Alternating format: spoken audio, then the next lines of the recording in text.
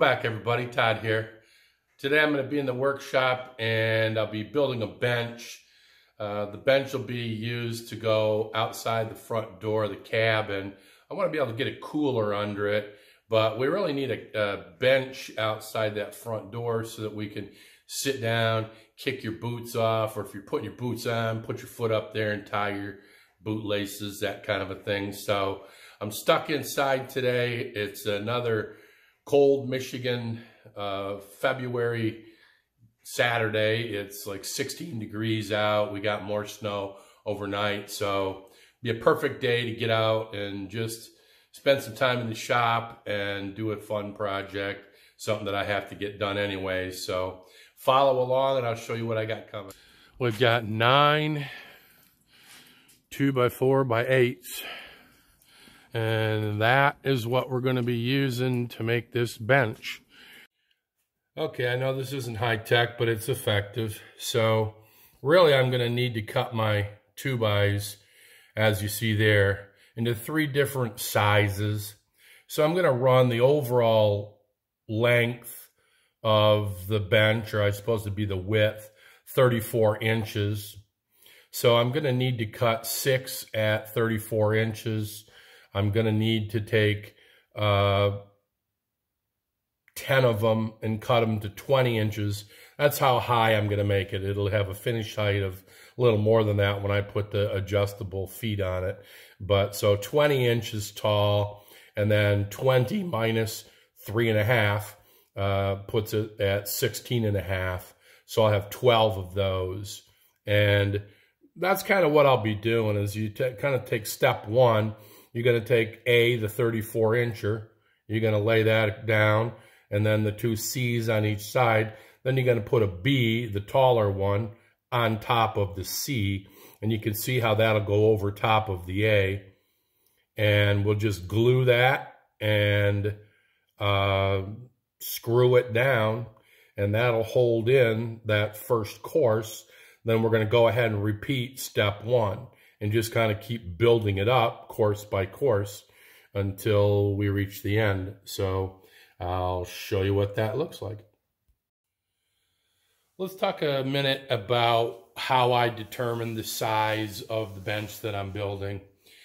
I really want to be able to get this cooler underneath the bench out front of the cabin.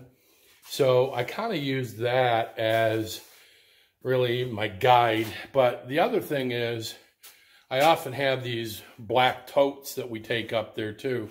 So as it works out, the black tote and the cooler are both relatively the same size.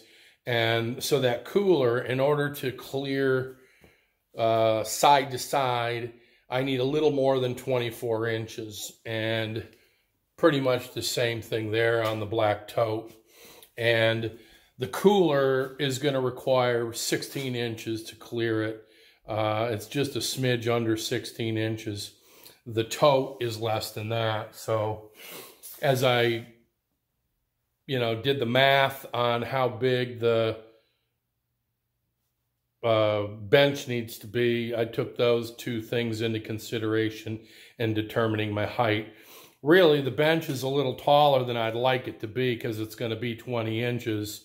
I'd really rather it be about 17 to 17 and a half, but um, 20 inches is not going to be a big deal. So, but that's how I came about uh, deciding on the sizes that I did.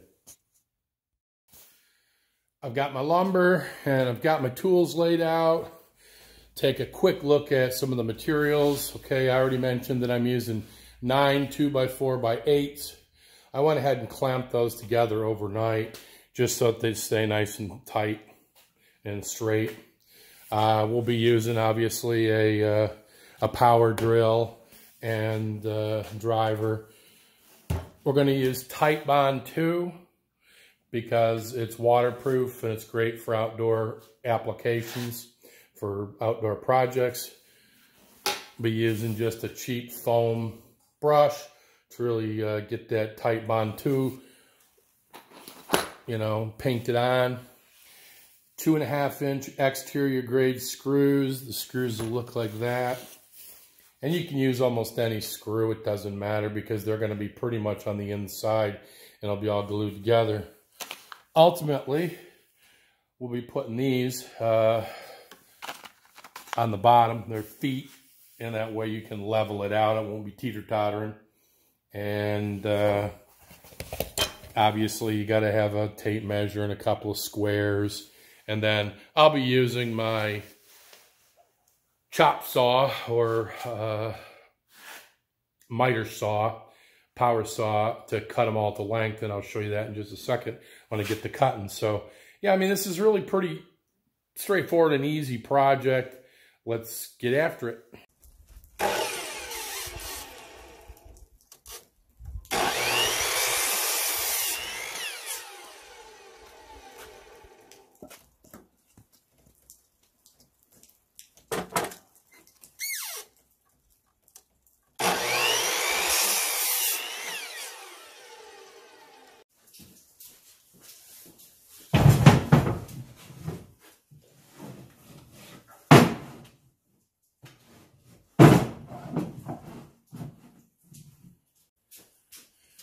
Okay, we got our 10, 20 inches here.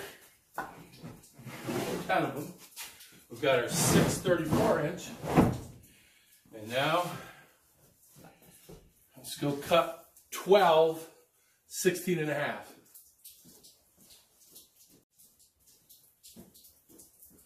All right, here we go. 12, got 16 and a half. So, at least based on the math that I did on my cut list, my game plan, that should be it. I think what we'll do is try to assemble it and see if it all, if we have it right, then we'll worry about, you know, gluing it, nailing it, and screwing it. Okay, I moved some of this down, staged it so that we can go ahead and do a dry fit. So let's do it. put the tall ones there, like so.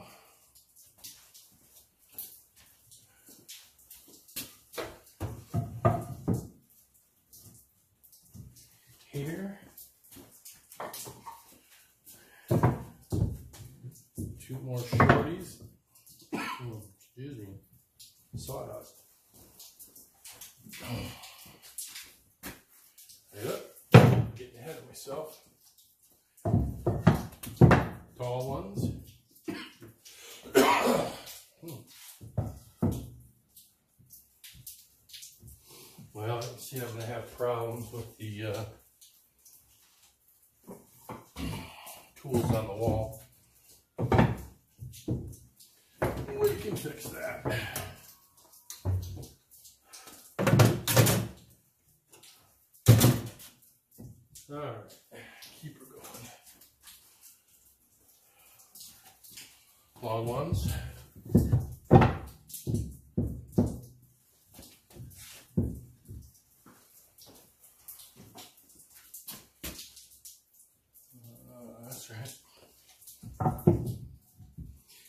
Deer in the headlight looks.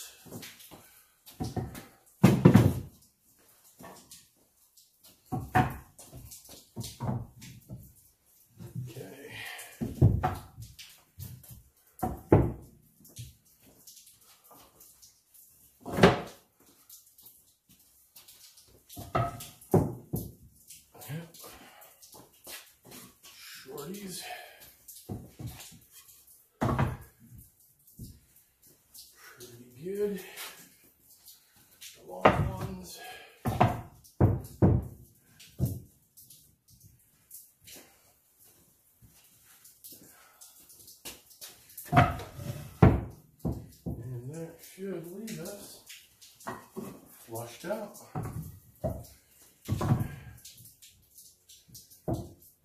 just like that. Once we get it all evened up.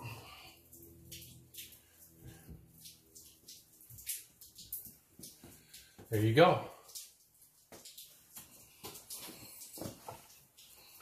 So from the underside, On the outside, obviously that'll get cleaned up when you actually start using a square to put it all together slowly, get it clamped and what have you. So, you know, you can see the top, the rain will be able to fall through it. It won't hold water on top. It's going to be heavy as a bear. Um, but we'll use a belt sander to clean up to even everything else once we're done. But yeah. Okay, everybody.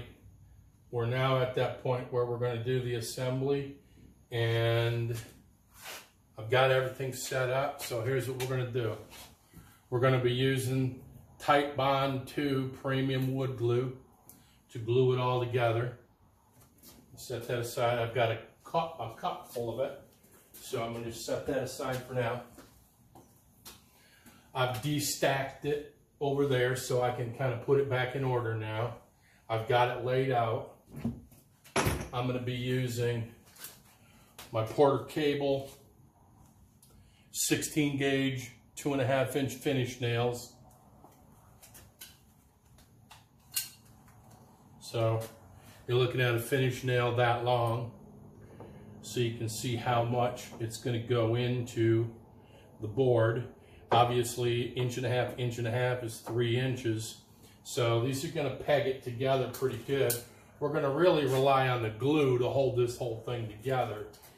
I thought about screwing it together with screws and all of that, but honestly, it's overkill.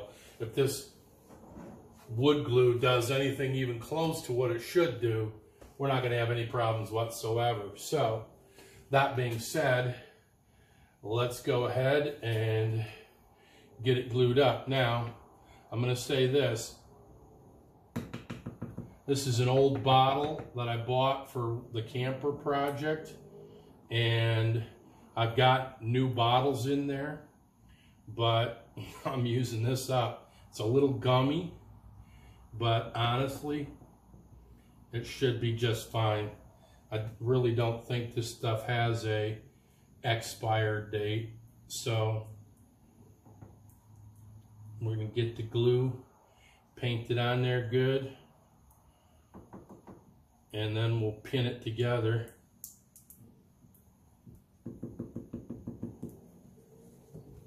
Foam brush, always a great tool for woodworking and doing the the glue thing.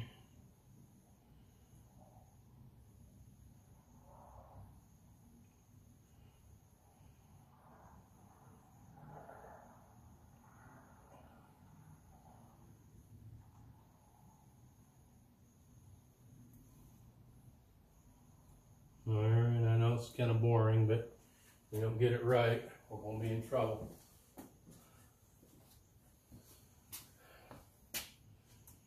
so. Set that on there like so. Now I took some time before I started the camera to get this thing laid out so that our base is perfectly square.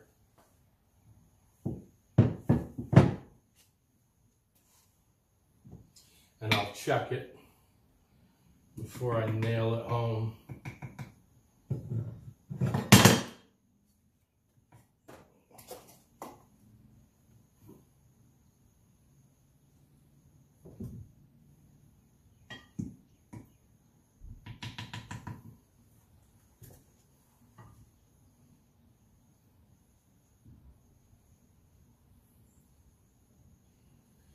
At the end of the day, this is going to be an outdoor bench for putting your feet up on to tie your boot laces to stick coolers underneath. And I mean, it's a utilitarian bench. It's not a high priced piece of furniture. So, you know, I am a bit anal when it comes to projects, but I'm also a realist and I don't like to go crazy overboard when it doesn't require it. So I don't want you thinking I'm a slopper because that's really not who I am.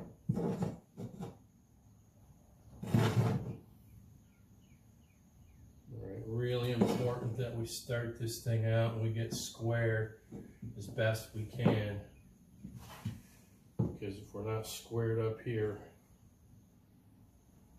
we're going to be in trouble.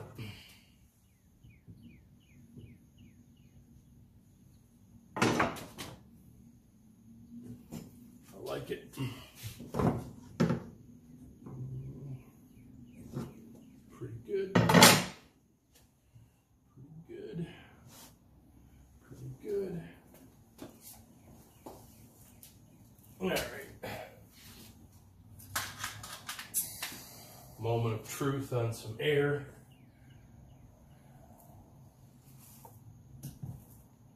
Oh yeah, it's wiggling out like the wiggle.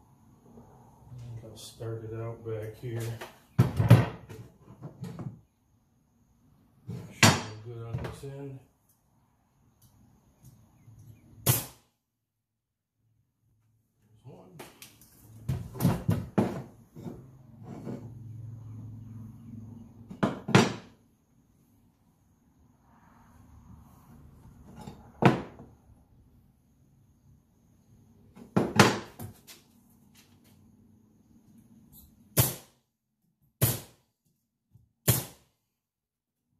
Okay, so just a progress report. I've got six courses done. I'm using the 12 inch square to come around and plumb each and square each course. So we're in good shape there. I've got six more courses laid over here that have to come over and get glued. So steady as she goes. I'll be back in a few minutes with a little bit more progress it's done. So I have a hunch that as time went on, it kind of started to walk off on the top there. We'll see. I mean, again, we're talking about belt sanding to, you know, get the thing to level out good. And then we're going to put the feet on it anyway. So we'll be fine. Again, it's just an exterior and outdoor bench. But, um, you know, I want it to be done nicely. So uh, let me flip it over and get a look at it. Now it's time to do some belt sanding. You can see how it's just got some high spots. Get all of that, get behind it here. Get all of that, just belt sanded down so it evens it up pretty good there. So we'll go ahead and hit that up with a belt sander and I'll be back.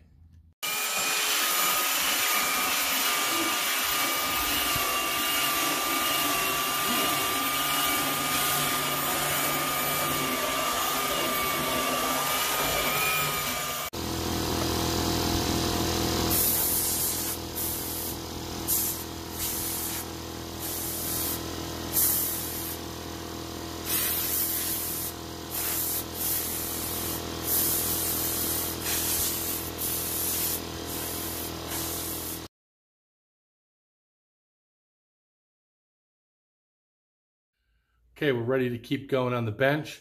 So let me show you what we're up to next. I've got it all sanded down, turned it upside down, put on a piece of cardboard. That way I can work on the legs, right? So over here on the workbench, here's what I'm going to put on there for the feet. Rather than having to try to take all of these and get them completely leveled out by belt sanding it all down perfectly straight and working with a square and all of that. You know what the easiest thing to do is? Put some feet on it. So I just went to the Home Depot, bought the leveling furniture guides. There's, you know, a four pack right there. You see them. And what it calls for is to take your drill bit here and I've got that marked out for an inch and an eighth depth. And then you go ahead and you drill that out with a 23 64th. Yeah, that's right. Believe it or not. What do you see there? 23 64th. Gotta like that. So I'm all set. I tested it out by drilling a pilot hole in just a scrap board.